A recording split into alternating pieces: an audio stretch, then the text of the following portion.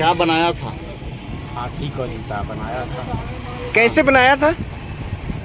जैसे बनाया था कि पहले गया हाथी का पैर नापा।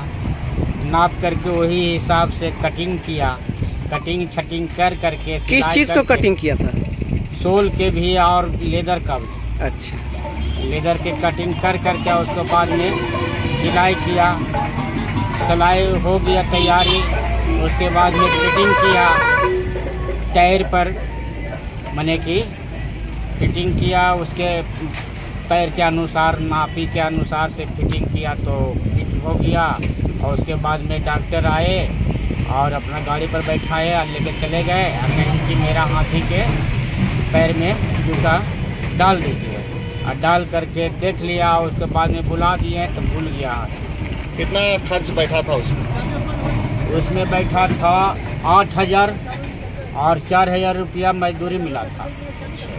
कितना दिन लगा था बनाने में? पंद्रह दिन। अभी आप लोग क्या कर रहे हैं?